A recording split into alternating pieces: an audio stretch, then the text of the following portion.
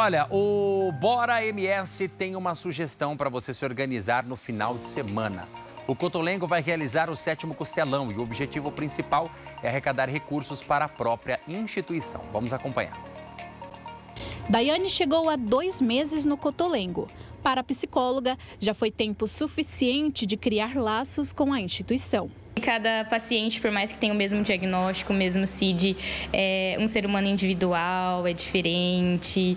Uh, aprendi muito sobre o amor com eles, sobre paciência, sobre né, jeito com cada um. Então, tem sido muito válida a experiência. Para atender mais de 600 pessoas, entre crianças, adolescentes e adultos que precisam de acolhimento em razão de condições especiais, o Cotolengo Sumato Grossense conta com uma equipe multiprofissional. Ana Paula é uma das colaboradoras. A história dela com este lugar é longa. Fui criada aqui dentro, né? Meu pai é voluntário desde que criou a obra.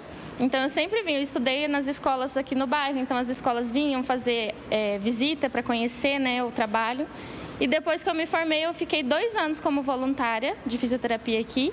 E daí, quando abriu o SER, eu, eu vim trabalhar aqui. Então, eu adoro trabalhar aqui, gosto bastante. É meio puxado às vezes, porque tem muito paciente para atender, mas eu gosto. É satisfatório ver a evolução dos pacientes. São mais de 3 mil atendimentos por mês e os custos são consideráveis. Todos os anos, o Cotolengo faz eventos beneficentes. Um deles é o tradicional Costelão, que vai acontecer neste final de semana. A expectativa é reunir até mil pessoas.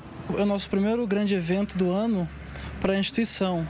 Vamos angariar alguns fundos né, para manter a instituição funcionando. O papel social do Cotolengo vai além dos serviços assistenciais. Nas palavras da Vanessa, os aprendizados são diários.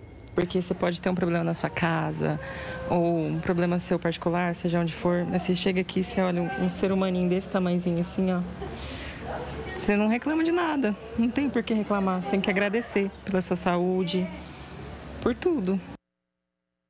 Quem quiser participar do Costelão, né, do Cotolengo, anota aí o endereço, na rua Jamil Basmage, número 996, no bairro Mata do Jacinto, tá? Os convites podem ser é, reservados ali pelo telefone 33 58 48 48. O evento acontece dia 17 de março, a partir das 11h30 da manhã.